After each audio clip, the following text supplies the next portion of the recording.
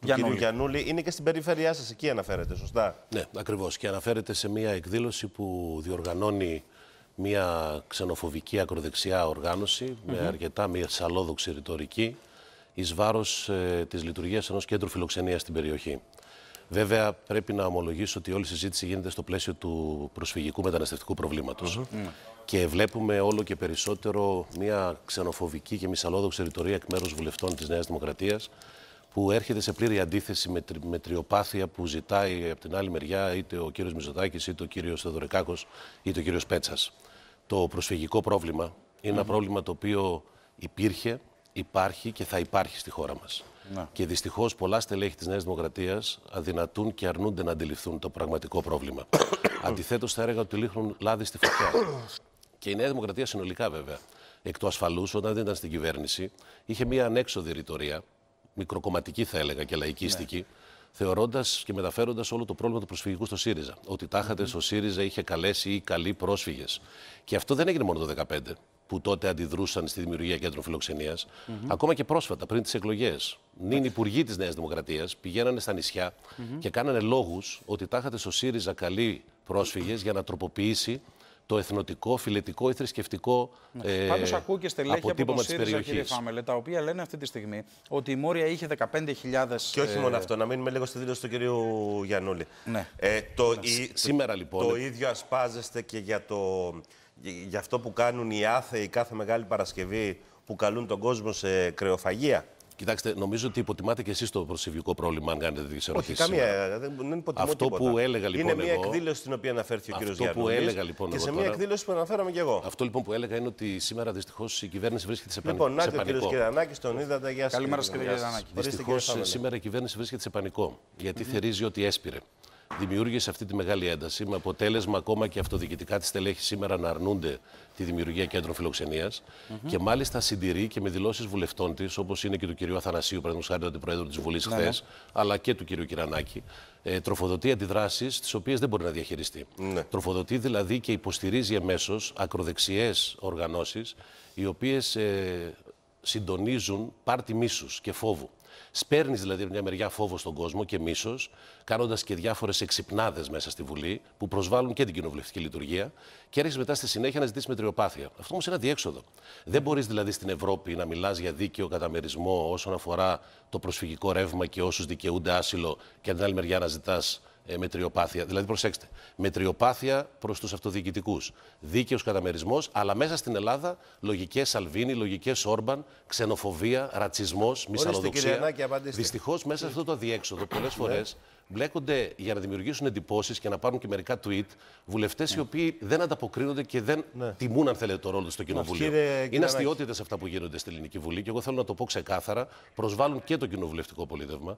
Δεν είναι δυνατόν δηλαδή Ποιο να μην ακριβώς, παίρνουμε δηλαδή, είναι θέση αστείωτητα; όσον αφορά την οργάνωση Ποιο ακριβώς είναι ακροδεξιών πάρτι Ορίστε. και Κύριε- μάλιστα πάρτι ποιο τα ακριβώς είναι οποία αστείωτητα; προκαλούν και δημιουργούν Να ξενοφοβικό απαντήσει ο κύριος αίσθημα. Κυρανάκης. Εγώ έτσι κι αλλιώς αυτή τη στιγμή απευθύνομαι σε εσάς και Ναι. απευθύνομαι και στους τηλεθεατές και στις Ναι. τηλεθεάτριες. Και λέω ότι η, επα- η, η- η- α- αν θέλετε, το διάγγελμα του κυρίου Θοδωρικάκου για μετριοπάθεια Μάλιστα. δεν έχει τίποτα κοινό με τις ξενοφοβικές και ρατσιστικές δηλώσεις βουλευτών της Νέας Δημοκρατίας. Κύριε Κυρανάκη, είναι να- προσβλητικό να απαντήσει, κύριε Φάμελε. για τα ανθρώπινα δικαιώματα. Θέλω είναι να μου πείτε προσβλητικό, ποια αν θέλετε, δήλωση είναι και για τη ρατσιστική και διαδικασία. ακροδεξιά από βουλευτής της Νέας Δημοκρατίας.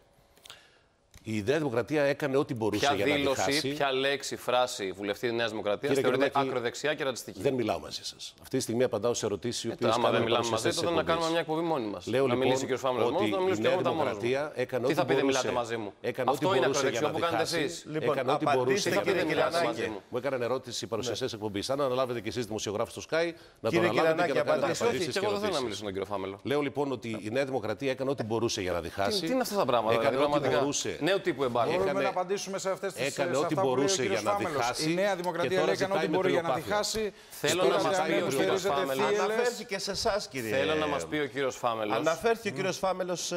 Αφού σε δεν εσάς, καταδέχεται, κύριε είναι Κυρανάκη. πολύ υψηλό το επίπεδό του για να αποδεχθεί να μιλήσει σε μένα, σε έναν άλλο συναδελφό του. Θέλω να μας πει, απευθυνόμενος σε εσάς, ρωτώ, μπορείτε να ρωτήσετε τον κύριο Φάμελο, τι ακριβώς, ποια ακριβώς δήλωση Αναφέρθηκε βουλευτή τη στον Νέα κύριο Δημοκρατίας, Αθανασίου. Θα σας πω ποια εγώ. ακριβώς Θα σας δήλωση, πω εγώ, κύριε λέξη, Κυρανάκη. φράση τη Αναφέρθηκε βουλευτή της Νέας στη Δημοκρατίας δήλωση του είναι κ- ακροδεξιά και ρατσιστική. Αναφέρθηκε στη δήλωση του κυρίου Αθανασίου, Ποια; στη δήλωση του κυρίου Πλεύρη και Ποια στι δηλαδή; δηλώσει που κάνατε Ποια, ποια δηλαδή; εσείς. Ποια λέξη, πείτε μου, τη φράση που είναι ρατσιστική και γεροδεξιά. Θα το πείτε, εκτιμάται ότι κύριε δεν υπάρχει. Δεν, Φάμελο. δεν το άκουσε μάλλον ο κύριος Σας Φάμελος. λέω Θέλω να το λοιπόν το ρωτήσετε. εξής. Χθες ο κύριος Αθανασίου αναφέρθηκε σε αλλίωση του πληθυσμού της Λέσβου. Αναφέρθηκε στην πιθανότητα δημιουργία νέας, δημιουργίας νέας Ροδόπης. Δηλαδή αναφέρθηκε σε μια ελληνική περιοχή όπου Έλληνες πολίτες έχουμε κατορθώσει εξασφαλίζοντας τα ανθρώπινα δικαιώματα όλων των πολιτών ανεξαρτήτω θρησκεύματος να υπηρετούν όλοι τον ίδιο σκοπό της πατρίδας μας, τη λειτουργία της κοινωνίας μας της ελληνικη Και ταυτόχρονα η απάντηση του κ. Κυρανάκη στον κύριο Γιανούλη υποστήριξε Ποια μια δηλαδή; διαδήλωση Μίλησα η εγώ για οποία διαδήλωση. διοργάνωσε. Μίλησα εγώ για διαδήλωση, η κύριε οποία Φάμελε. διοργάνωσε. Μίλησα εγώ για Θα μου διαδήλωση, επιτρέψετε κύριε να μιλήσω, Φάμελε. θα μου επιτρέψετε να μιλήσω; Μίλησα εγώ για Η, διαδήλωση. η αντίληψη της Απαντήστε δημοκρατίας αμέσως. είναι και η διακοπή Όχι, της όχι, όχι, τοποθέτησής όχι. μου. Ωραία. Κύριε Φάμελε, Θα μου επιτρέψετε μίλησα λοιπόν εγώ να για μιλήσω εγώ. διαδήλωση. Θα μου επιτρέψετε να μιλήσω εγώ λοιπόν. Μίλησα εγώ για Ο διαδήλωση. κύριος Γιαννούλης Μπορούμε λοιπόν να βάλουμε το χθες- βίντεο της ο χθεσινή κύριος δήλωση. Γιαννούλης λοιπόν χθες, ο κύριος Γιαννούλης λοιπόν Ναι. χθες έθεσε ένα ερώτημα το οποίο μάλιστα πρέπει να σας πω ότι ο Υπουργός Δικαιοσύνης το άκουσε και τοποθετήθηκε για αυτό το ζήτημα. Ναι. Σχετικά δηλαδή με το τι πρέπει να προβλέπει ο ποινικός κώδικας για τη διοργάνωση ρατσιστικών και ξενοφοβικών εκδηλώσεων, οι οποίες δημιουργούν περισσότερη ένταση. Και πρέπει να σας πω ότι επειδή προέρχομαι από την περιοχή, στην περιοχή των διαβατών και στην περιοχή δηλαδή του Δήμου Δέλτα, υπάρχει μια μεγάλη αντίδραση για τη διοργάνωση ρατσιστικών και ξενοφοβικών εκδηλώσεων από ακροδεξιές ομάδες, τις οποίες πρέπει να τις γνωρίζουμε πολύ καλά πριν μιλάμε στο Κοινοβούλιο και να μην ρίχνουμε λάδι στη φωτιά Μάλιστα. όπως κάνουν οι βουλευτές της Δημοκρατία. Κάντε μία παύση, Πρέπει παρακαλώ. να σας πω βέβαια ότι Μία στο παύση να συγκεκρι... πάμε στη σε συγκεκριμένη διαφημίσεις και μονάδα επιστρέφουμε, το κύριε. απίστευτο Ναι. το οποίο έγινε ήταν ότι Λάδι όταν στη φωτιά ανέλαβε. έβαλε ο κύριος Όταν Γιαννούλης, κύριε ανέλαβε. Κούτρα. Θα το Δεν- πείτε μην με μετά, διακόπτετε, κύριε κύριε Κυρανάκη. Κυρανάκη, μην με Όχι, τον διακόπτετε. ακούω τόση ώρα. Κύριε- Το ναι, να αλλά σας το- διακόψω το- γιατί το και εσείς δεν προηγούμενο απαντάτε, σας κύριε ρώτησα, Φάμελε. κάνατε ερώτηση Σας στον κάνω κύριο μια πολύ Πίστευτο. απλή- σας κάνω μια πολύ απλή Το ερώτηση, την οποία Διαφημίσεις και δεν επαναρχόμαστε. έχετε την Με συγχωρείτε, ικανότητα με να συγχωρείτε. απαντήσετε. Επιστρέφουμε εδώ μαζί, Επιστρέφουμε. Πολύ απλά